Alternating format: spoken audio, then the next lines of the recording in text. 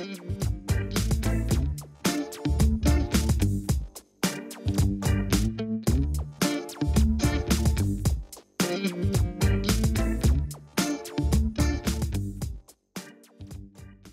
a kid, I grew up on a working farm that had been in my family for many generations. My brother and I, let's just say our chores, they kind of looked a little bit different.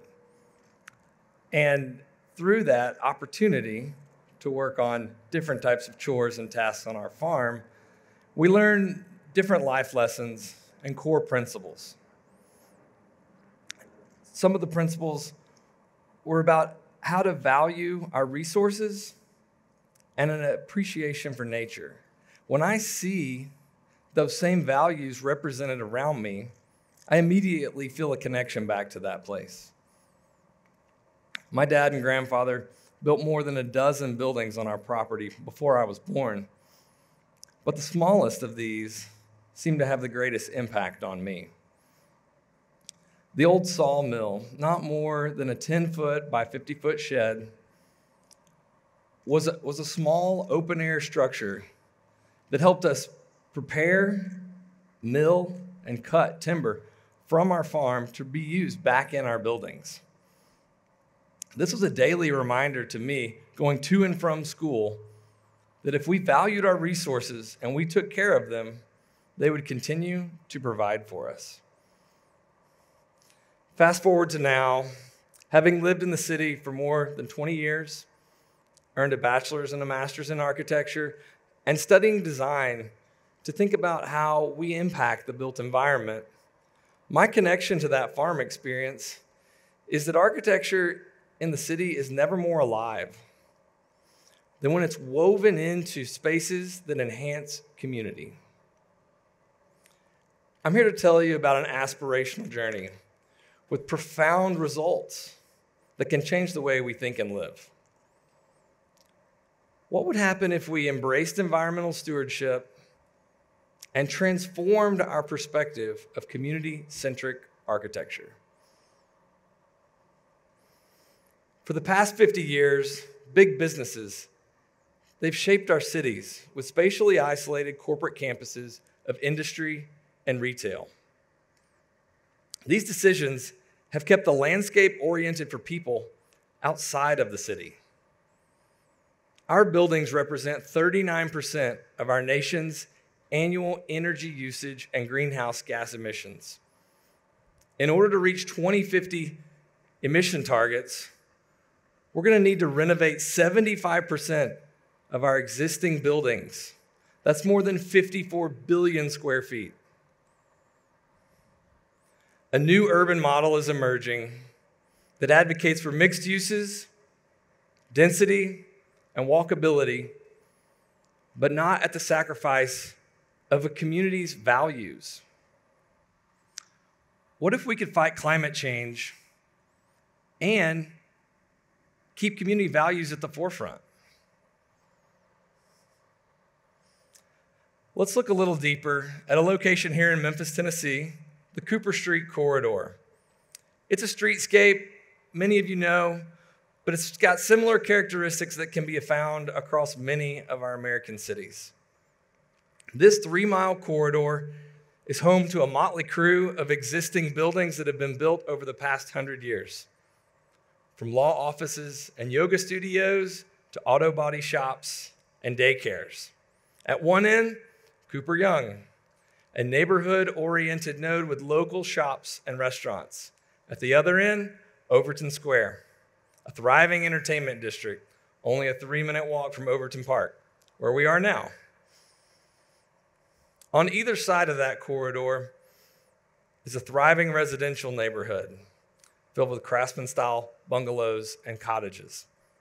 For this context, we really must evaluate the existing resources first and not just assume the prescriptive path that newer is always better. It should not begin with insertion. Instead, it should begin with an integration of design thinking for existing resources in established neighborhoods that can strengthen a collective identity. But fundamentally, we must be able to answer the question how can our existing buildings fight climate change? So I'm here to guide you through an experiment that can recalibrate the way we think about the built environment. I'm an architect with Archimania here in Memphis, Tennessee. In 2017, Archimania purchased two buildings connected by a canopy at the midpoint of the Cooper Street corridor. Each of these buildings had a story. One was a commercial insurance building, the other, a sheet metal workers union. Built in tandem in 1950, both of these buildings have been contributing to the neighborhood for more than 70 years. And now we had an opportunity to write a new chapter. Early goals for the project were to think of it as a case study and proof of concept that incremental changes to design, sustainability, and connectivity could be woven into an accessible path to create a better connected, carbon neutral, human centric district. With these two existing buildings on site, we asked ourselves how can we think about this process and set up different approaches that might help us to learn from this and lead by it and advocate for better design. So, for this, two different approaches came to the forefront.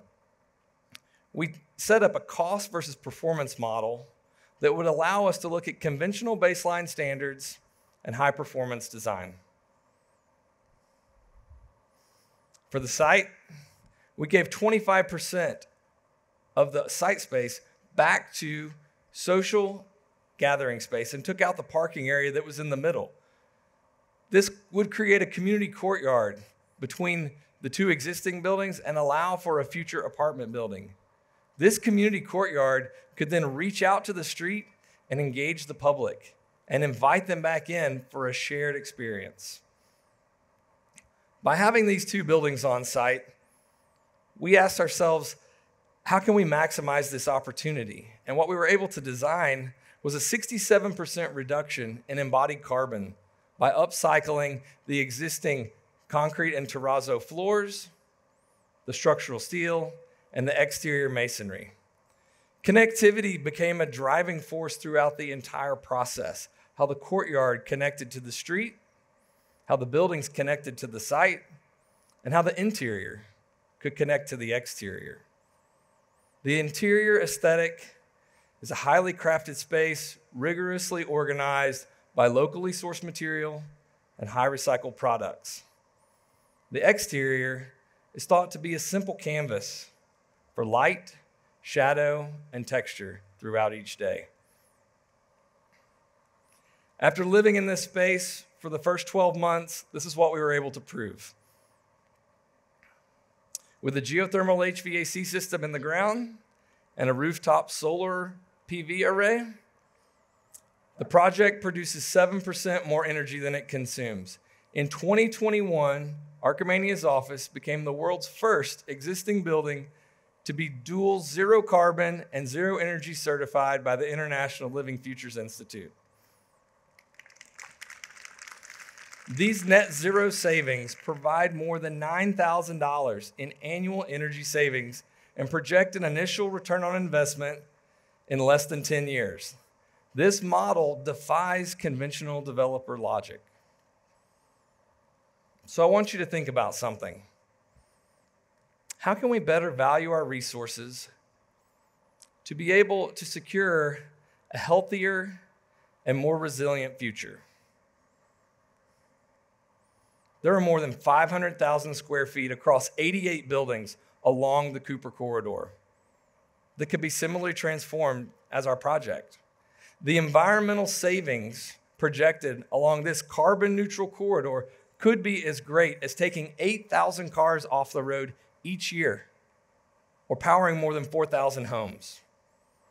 If you apply this to seven other similar corridors here in Memphis, the impact would be 17 times greater.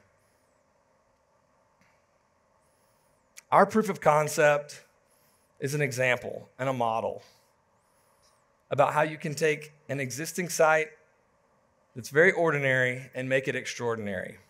It's not an exclusive model, it's an idea and an application that's accessible to every town and every city across middle America. Combining moderate shifts and incremental approaches can create massive impact for the future of our communities that could be limitless. Thank you.